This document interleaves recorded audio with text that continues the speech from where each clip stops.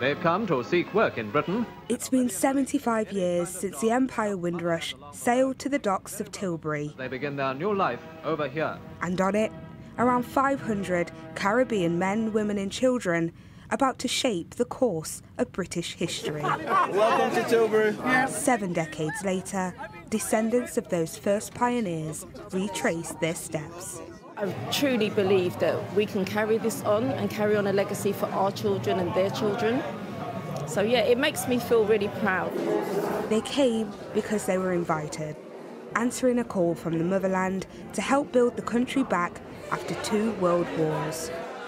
Those that are here today. Umze Deepas was among them, a veteran who moved from Jamaica to Bristol in 1968, and today he's celebrated from an event in Wales.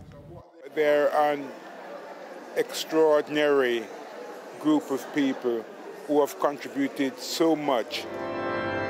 The king, who was born the year the ship arrived, also recognised the defining moment in history.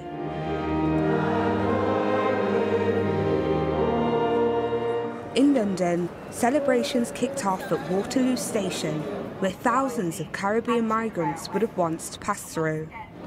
Then, representatives of the pioneering generation embarked on a walk to a service in their honour. A moment to remember the history, but also to acknowledge the livelihoods that have been threatened by the ongoing Windrush scandal. It's easy to celebrate and get carried away and have a party and have a good time. But actually, the most important thing is that people need to be compensated, but they also need their status. And whilst the past and present struggles were acknowledged, the contribution was the main focus of the day. Whether that be the food, the clothes, the music, all of which is becoming part of mainstream society. I have a granddaughter that's going to be um, arriving the 1st, 2nd of July, hopefully and I want her to know what that generation gave.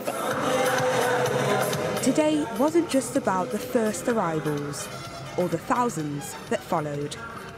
It was also an opportunity for the hundreds of thousands of Windrush descendants to celebrate those who paved the way. Shamaan Freeman Powell, Sky News.